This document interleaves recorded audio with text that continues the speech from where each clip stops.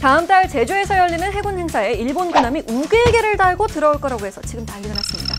이 행사는 세계 군함들의 잔치인데요. 우리나라 해군 행사에 다른 나라들도 자기네 해군 함정을 보냅니다. 근데 일본 군함이 일장기가 아니라 우길기를 달고 입항한다는 거예요.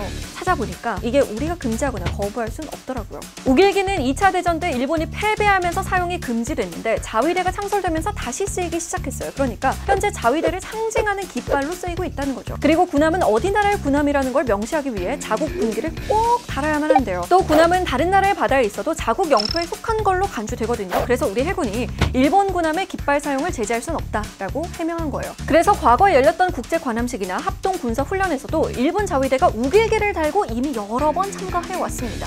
현실적으로 못 달게 하는 건 어렵다고 이해했지만 그래도 울컥하는 건 어쩔 수 없네요.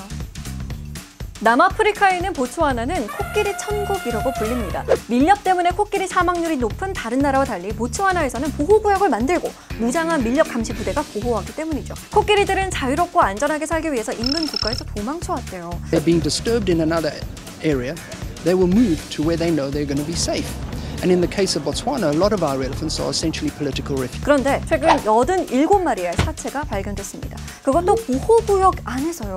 죽은 코끼리들은 머리가 없습니다. 밀렵꾼들이 상아를 빼갔기 때문이죠. 전문가들은 아프리카에서 있었던 밀렵 중 가장 큰 규모의 밀렵이라며 경악했습니다. 이 일이 일어난 건 올 초 보츠와나 대통령이 새로 뽑히면서 밀렵 단속반이 무장 해제됐기 때문이에요. 코끼리 보호단체는 2015년과 비교해서 보츠와나 코끼리 밀렵이 아프리카의 다른 나라에 비해 두 배나 늘었다며 정부에 긴급하고 즉각적인 조치가 필요하다고 경고했습니다. 그게 그렇게 갖고 싶으신가요? 상아, 그거 그냥 이빨인데.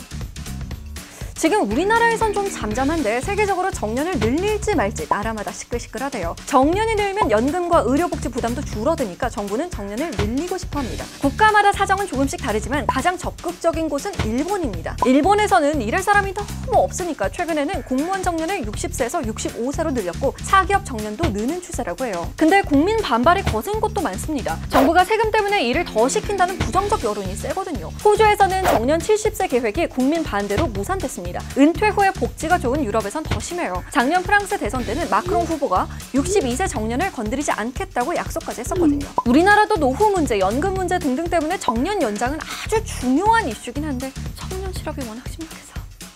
지난해 12월 우리 곁을 떠난 샤이니 종현 기억하시죠? 종현의 어머님이 아들과 비슷한 청년 예술인을 돕고자 재단을 설립하셨다고 합니다. 재단의 이름은 빛이나 반짝이는 빛만큼이나 짙은 그림자를 품던 아들을 잃은 어머니가 아들과 같은 길을 가는 청년들을 위해 세운 단체입니다. 종현의 저작권료로 운영되는 빛이나는 우선 예술인을 위한 심리상담 치유센터를 세울 계획인데요. 그 외에 소속사가 없어서 힘든 청년 예술인에 대한 지원, 예술계 고등학교와 함께하는 장학사업 등을 진행한다고 합니다. 종현은 이제 볼 수 없지만 그가 남긴 선한 영향력 오래 기억되길 바랍니다. 지금까지 푸른밤 종현이었습니다. 저도 쉬러 올게요. 여러분도 여전히 그리고 안녕히